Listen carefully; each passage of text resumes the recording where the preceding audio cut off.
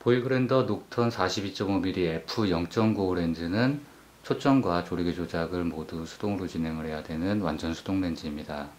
고급 수동 렌즈답게 초점 링의 만듦새나 뭐 조작감이 상당히 우수하고요. 조리개 역시 마찬가지가 되겠습니다. 조리개는 전환시키는 두 가지 모드를 사용할 수 있어 무단 조리개까지 이용을 할 수가 있는 그런 특징을 갖추고 있습니다.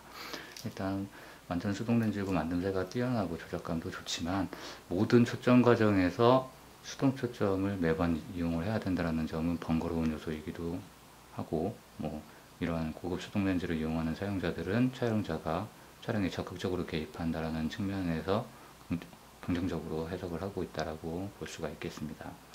기본적으로 상당히 익숙해진다면은 MF 촬영이지만 그렇게 어렵지 않게 사용을 할 수가 있던 그런 요소라고 볼 수가 있겠습니다. 추가적으로 어, 사용하는 바디에 따라 다르겠지만 어, MF 확대 기능이라든가 포커스 피킹을 추후에 기, 지원하는 기종에서는 보다 편리하게 보다 정밀한 수동 초점을 이용할 수가 있다는 점도 특징이 되겠습니다. 삼각대를 이용한다거나 이런 정확한 촬영이 필요한 경우는 오히려 AF를 지원하는 기종들보다 더 정밀한 촬영이 가능하다는 점도 참고로 하는 것이 좋겠습니다.